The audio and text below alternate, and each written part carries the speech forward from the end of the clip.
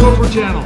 Today we're not in Idaho, we're not on the Rhinestone Roper place. Today we're in Pawhuska, Oklahoma, here at the Roan Horse Arena. Today we're going to talk about two things you should not do while you're performing or learning the ocean wave.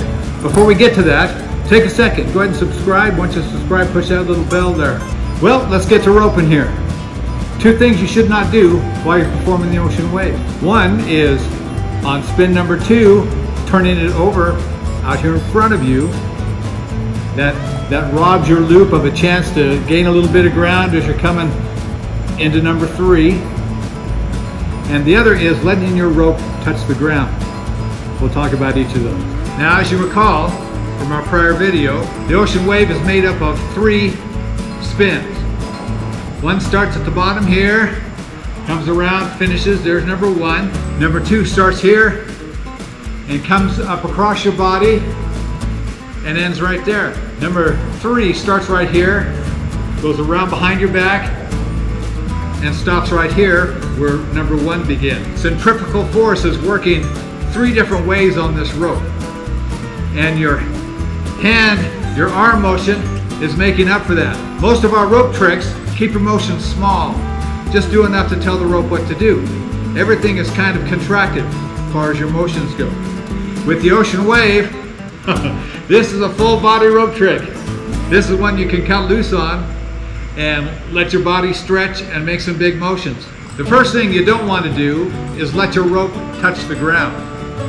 If your rope touches the ground any place, it's going to cause a shock wave to go through that loop. Your loop is not going to be pretty. The thing that's attractive about the ocean wave is this graceful vertical loop going around your body. It just seems to float. But if it touches the ground, the loop gets a little confused and it's not pretty anymore. Plus, the thing that's probably going to touch the ground is when you're coming down here with the Honda, here or here.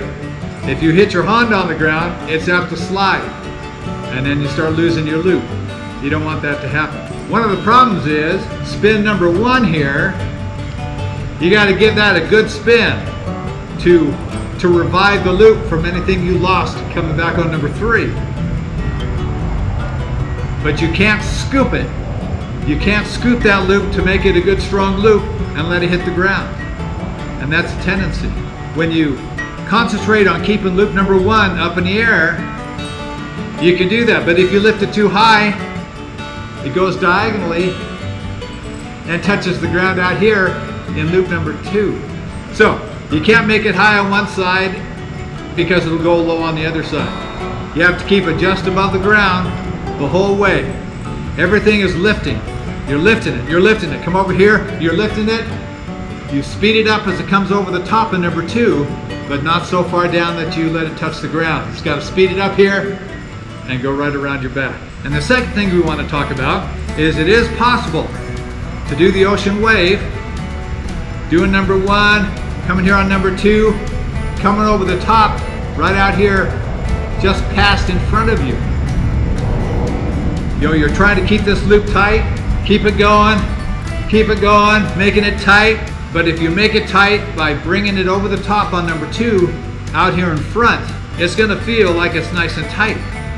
The problem is, that loop has to go from out here in front of you, all the way behind you, all the way over here.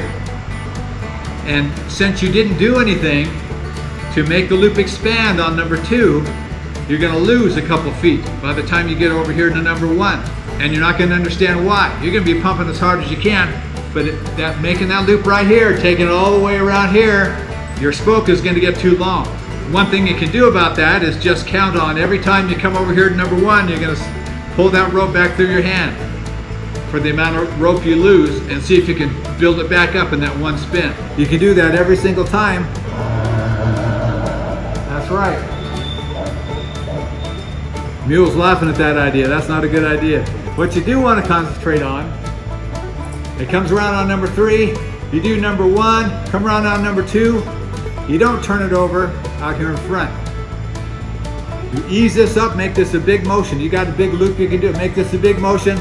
Toss it back here. Toss that Honda behind your shoulder. Toss behind your shoulder. Here's number one.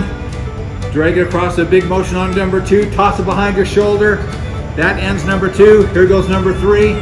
When you get back here, you'll still have your big loop.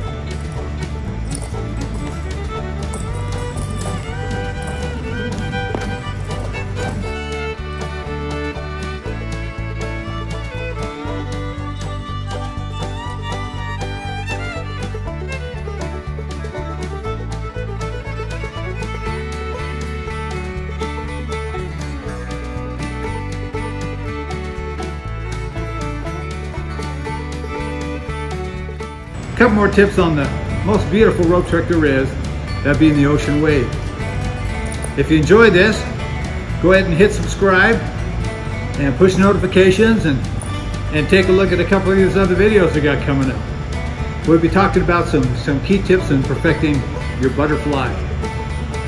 Thanks for coming. I appreciate it. We'll see you back in Idaho next time.